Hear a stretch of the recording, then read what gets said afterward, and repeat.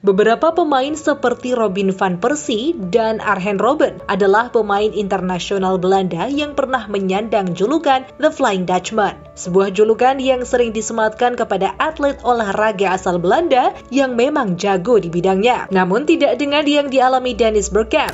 Dia dijuluki The Non-Flying Dutchman lantaran ia takut pesawat terbang. Bahkan ketika timnas Belanda lolos Piala Dunia 1994 di Amerika Serikat, Bergkamp harus dibius agar duduk tenang dan mau menaiki pesawat bersama skuad timnas Belanda.